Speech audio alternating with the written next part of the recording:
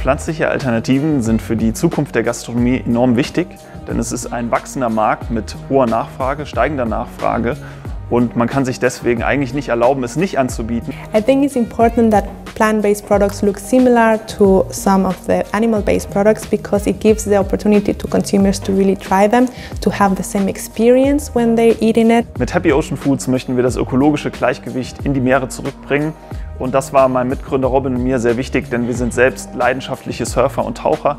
Und auf der anderen Seite beschäftigen wir uns viel mit der Zukunft der Ernährung und möchten auch da einen Unterschied machen.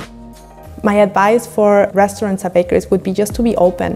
So if any plant-based, especially startups, comes to you, just be willing to talk and maybe try the products. Mein Tipp für Gastronomen ist vor allem in Bezug auf pflanzliche Alternativen, das einfach mal auszuprobieren, in Form von einem Special zum Beispiel für einen Monat. Danach kann man dann ein Fazit ziehen und muss sich nicht festlegen, also einfach mal testen. So we're really excited to be there. It's the first time we go to Internoga and it's the first time we go to an event such as big as Internoga. So we are just really looking forward to talk to the food industry, some bakeries.